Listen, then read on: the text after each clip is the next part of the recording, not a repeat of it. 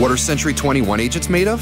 They're made of dedication and smiles and never-ending files. They're back patios, kitchen sinks, and pens that never run out of ink. They're a Magellan-like sense of neighborhood navigation mixed with the memory of an elephant who has a spectacular memory, even for an elephant.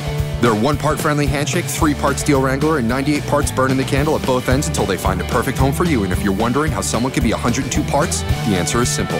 They're that good. This is who they are. This is what they do. Century 21 agents. Smarter, bolder, faster.